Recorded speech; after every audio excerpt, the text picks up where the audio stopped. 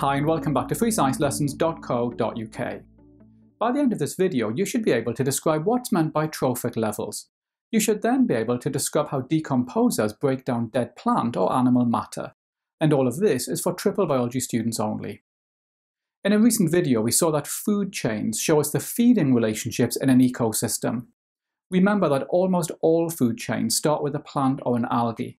These make their own food by photosynthesis, and scientists call these producers. Herbivores are animals that eat plants or algae. Scientists call these primary consumers. Carnivores that eat herbivores are called secondary consumers, and remember that a carnivore is an animal that eats another animal. Now in this food chain you can see that the secondary consumer is then eaten by a tertiary consumer.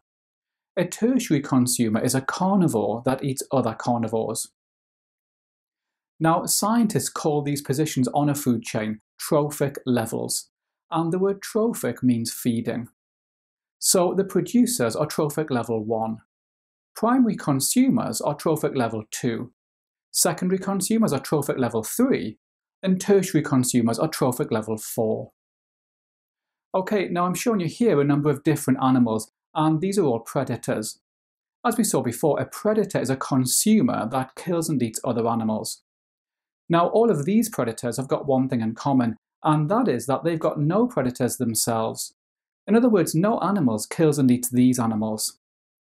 Scientists call these apex predators. Apex predators are carnivores with no predators. Now, one really important part of any ecosystem are the decomposers. As we've seen, decomposers break down dead plants and animals, as well as waste products such as feces. By breaking down dead remains and waste products, decomposers return mineral ions back to the soil. Now, in order to carry out this breakdown, decomposers secrete enzymes into the environment, and the word secrete means release. The enzymes digest the dead materials, and the small soluble food molecules then diffuse back into the decomposer. Remember, you'll find plenty of questions on trophic levels in my revision workbook, and you can get that by clicking on the link above.